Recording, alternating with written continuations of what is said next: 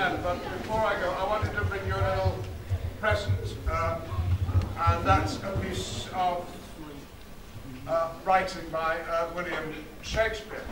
He wrote a play 400 years ago or more uh, called Sir Thomas More. Now, he wrote it with other people.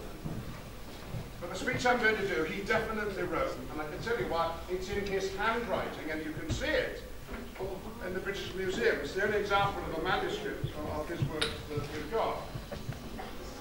And this speech is about what we've been talking about today. That's why I wanted to do it for you. The situation is, is that there's a crowd out in um, St Martin's in the Fields, Trafalgar Square, you know, where Michael was And there's a crowd out the street, and they are complaining about the strangers in their midst.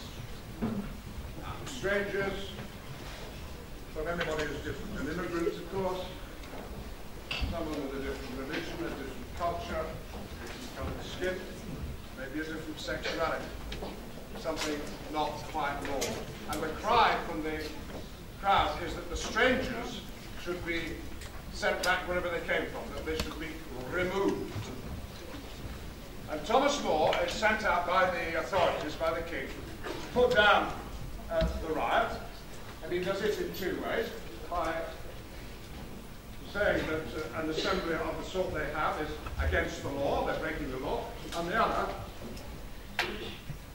with an appeal to their humanity, uh, to simply respect other people. Someone says that uh, the strangers should be removed, and Thomas More says, grant them removed!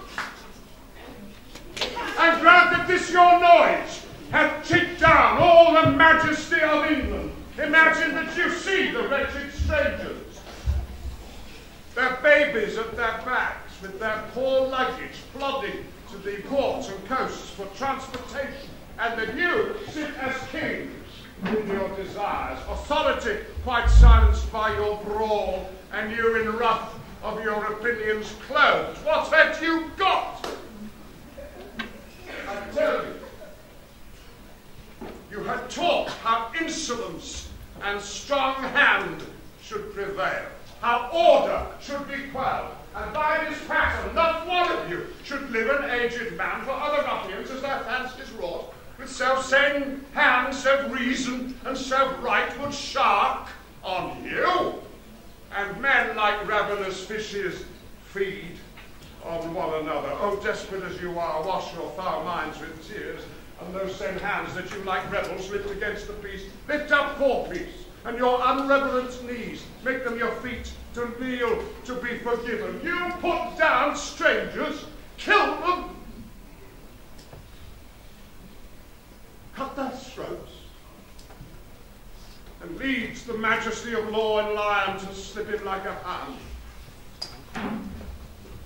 Saying out the king as he is clement if the offender would, should so much come too short of your great trespass as but to banish you. Whither would you go? What country, by the nature of your error, should give you harbour? Go you to France or Flanders, to any German province, Spain or Portugal, anywhere that not adheres to England? Why? You must needs be strangers. Would you be pleased to find a nation of such barbarous temper that breaking out in hideous violence would not afford you an abode on earth. Wax their detested knives against your throats. Spurn you like dogs, and like as if the God owned not nor made not you, nor that the elements were not all appropriate to your comfort, but chartered unto them. What would you sing to be thus used? This is the stranger's pen and this your mountainous inhumanity.